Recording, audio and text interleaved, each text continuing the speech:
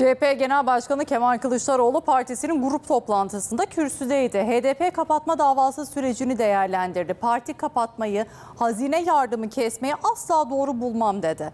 Kılıçdaroğlu'nun gündeminde peki başka hangi başlıklar vardı? Şimdi ana haberde bakacağız.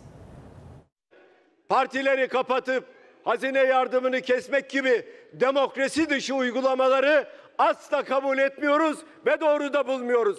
Ve hep beraber diyoruz yaşasın demokrasi, yaşasın Türkiye Cumhuriyeti. Söze HDP kapatma davası süreciyle başladı. Parti kapatma, hazine yardımı kesmeyi kabul etmiyoruz dedi. CHP lideri Kemal Kılıçdaroğlu'nun grup toplantısındaki gündeminde Sakarya'daki tank palet fabrikasındaki törende askerlerin alkış görüntüleri de vardı. Askerin beni alkışlamasını asla istemem. Herkes bulunduğu makamın ne olduğunu anlayacak. Siyaset mi yapmak istiyorlar?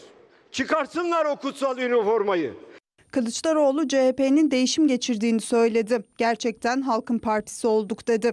Kan kusup kızılcık şerbeti içtik ama değişmeyi bildik ve başardık.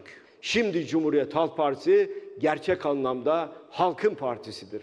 Kılıçdaroğlu CHP'deki o değişim için kolay olmadı dedi ve ekledi. Her değişim önce içeriden başlar. Sonra dışarıya taşar. Önce biz özgürleştik, sonra da özgürlükçü olduk. Özgürlükçü olduk. Kolay olmadı bu dostlar. Her taraftan şikayetler geldi. İnanın hiç kolay olmadı. Ama önemli olan zoru başarmaktı ve biz zoru başardık.